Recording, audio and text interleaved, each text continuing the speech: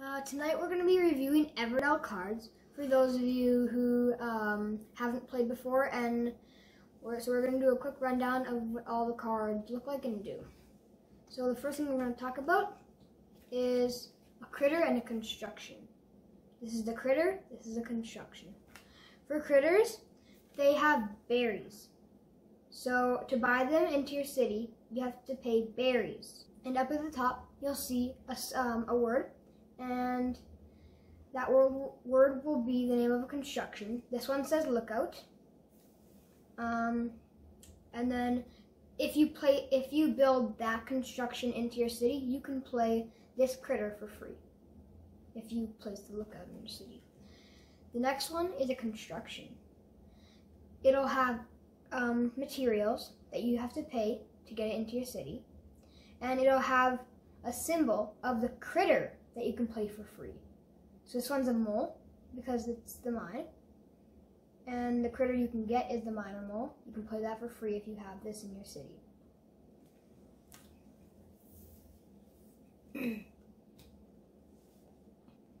then the next two, uh, we're going to talk about unique and common. So as you can see, this is a common, this is a unique. A common, you can have as many as you want in your city. So I can have as many teachers as I want in my city. And yeah, it'll say common right here. Common critter or unique critter. This is a common. The next is a shopkeeper. This is a unique critter. It says right here. So I can only have one in my city. Only one. And um, so these are points that help you win the game. So if you play this card in your city, you get two points. If you play this one, it's one point.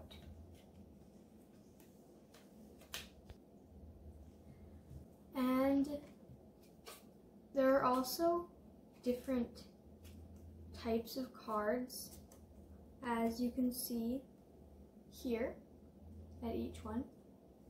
So um, for the seedling, this the seedling means um, you get the bonus as soon as you play it, but there are also certain cards and certain times when you can get it again. Um, this one, you can, this one you only get the bonus once, as soon as you play it. That's the only time you get it.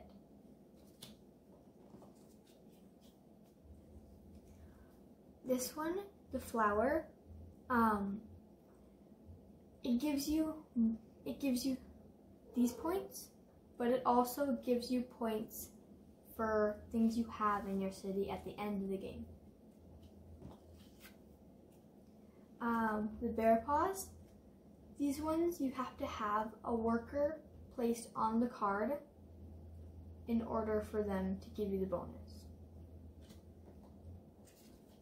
And the last one, the scroll, um, these ones, they give you something every single time you play something or do something.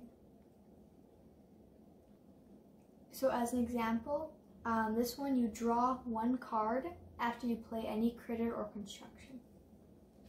So that's the breakdown of the Everdell cards. So keep playing and have fun.